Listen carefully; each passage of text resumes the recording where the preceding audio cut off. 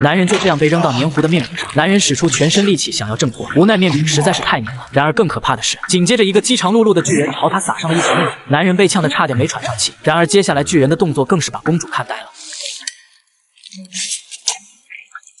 紧接着巨人把男人连带面皮裹了起来，然后小心翼翼地放在一边。巨人的操作把公主都看傻了，感受到了公主炙热的目光，巨人转头看了看他，并没有理会，转身就去准备其他食材。公主知道下一个待宰的羔羊就是自己了。就在他不知所措时，他发现杰克悄悄潜入了进来。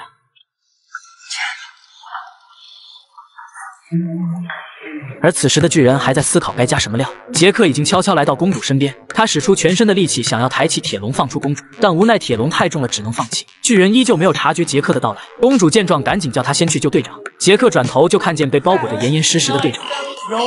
赶紧跑到队长身边，拿起匕首就开始切割面皮，想要把队长救出来。然而还没等他成功，巨人准备好调料之后就开始过来。杰克赶紧把匕首偷偷塞给队长之后，快速躲到一旁的木桶后面。然而接下来巨人的操作更是把所有人的心都提到嗓子眼。只见他拿起木棍就往卷心饼上插，刚刚还在叫唤的肥猪瞬间安静了下来。很快就轮到队长这边。好在位置不对，队长索性躲过一劫，但现在高兴还为时尚早。紧接着巨人就把他们放进炙热的烤箱里进行烘烤，这样下去他必死无疑。杰克见状，赶紧顺着绳子往上爬，悄悄来到刀架上。然而此时的巨人依旧没有注意到杰克的存在，尽情的展示他的绝世刀工。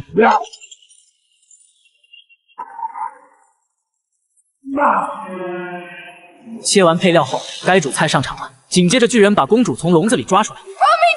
然后放在铁板上，眼看公主小命即将不保，危急时刻，杰克偷偷取出刀架上的尖刀，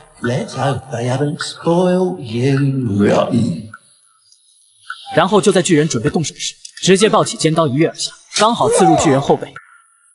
吃痛的巨人发出杀猪般的尖叫声，不停挣扎，想要拔出背后的尖刀。杰克死死抓住刀柄不肯松手，背上的刺痛感让巨人像一头苍蝇一样。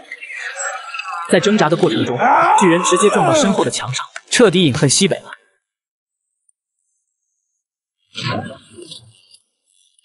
巨人倒地之后，杰克赶紧从巨人身上下来，三人马不停蹄地赶到参天藤蔓处。然而卷毛哥早已安排了一个巨人在这里把守，三人想要离开比登天还难。然而就在这时，杰克看到身旁环绕的蜜蜂，心里瞬间来了主意。